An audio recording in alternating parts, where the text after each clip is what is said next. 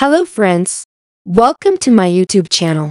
In this video, I will show 7 solutions to fix connection rejection problems on Bluetooth Mac. So, let's watch the video till the end. The first solution is to make sure your Bluetooth device has enough charge. Are you trying to connect Bluetooth devices like keyboards, mice, speakers, trackpads, and other peripherals? Make sure they have enough charge. A low battery can also cause Bluetooth connection problems. Plug your Bluetooth device into a power outlet and wait until it is charged up to 40%. Then, try to reconnect the Bluetooth device with your Mac. If your Bluetooth device has removable batteries, remove them for at least 25 minutes. Then, put the batteries back and try to connect. You can also try to connect with alternate Macs or desktop systems. If the Apple Magic keyboard and mouse are not connecting via Bluetooth, you can use a USB cable. If the problem persists, follow the second solution.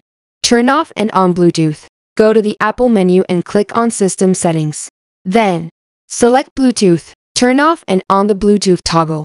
Then, click on the Connect button beside the available devices list. That's it. If your device shows a connection rejected pop-up, follow the third solution. Forget and repair devices. For example, I have a Logitech MX2 mouse here. On Mac, go to the Bluetooth settings from the control center. Click on the I button next to the Bluetooth device. Now, select the Forget this device option.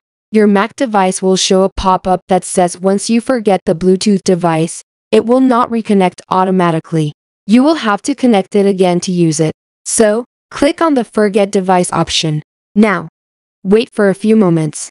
You will see that the Bluetooth device is available under the nearby devices list. Move your cursor beside the connect button and follow the pairing instructions.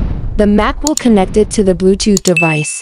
If the problem remains, follow the fourth solution. Check for device compatibility.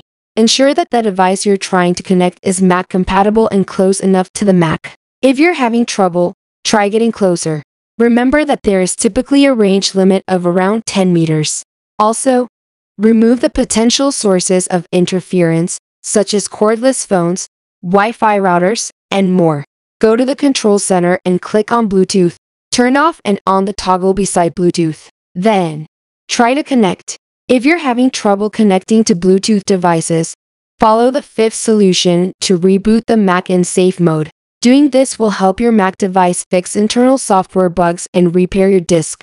For M1 and M2 chip Mac, go to the Apple menu at the top left corner. Then, Click on the shutdown option. Confirm the shutdown process.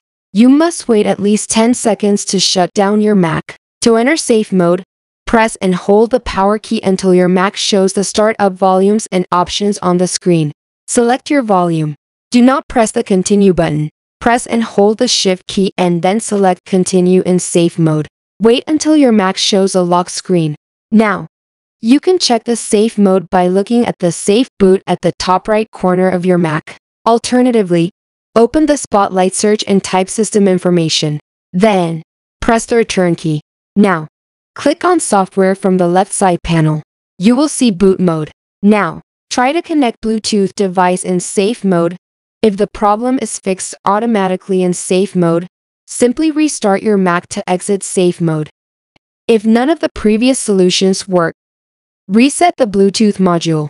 Doing this will restart Bluetooth automatically and help you fix the problem. Press the command space to open the Spotlight search on your Mac. Then, type terminal and press return to open. Now, enter the command displayed on the screen video. You can copy the command from the video description and paste it. Once you enter it, press the return key. Your device may show an enter password.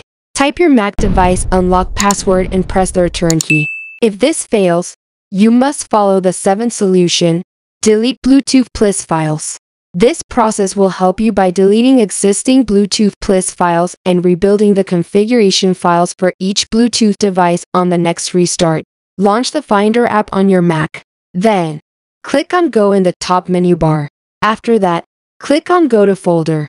From here, Enter the system configuration path displayed on the screen or copy and paste it from the video description. Then, press the return key. Now, find the Bluetooth plist files displayed on the screen. you can type and find it in the search bar. Create a new folder for storing a backup copy of the Bluetooth file on your Mac desktop. Now, select the Bluetooth plist file and right-click on the mouse to select the Move to Trash option. Enter your Mac password if required. Then, empty the trash bin.